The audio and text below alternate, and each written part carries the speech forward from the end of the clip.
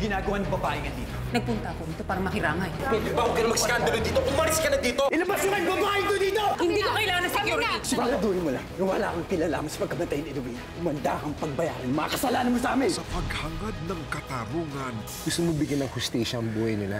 Natin to. relasyon ang nakataya. I will not sit here and let them just ruin our lives. Dalhin nyo na lang siya doon sa dating tagpuan.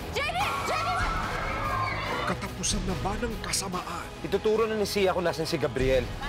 Mabubulo ka sa kulungan. Goodbye, son. O umpisa pa lang ng mas malaking gulo?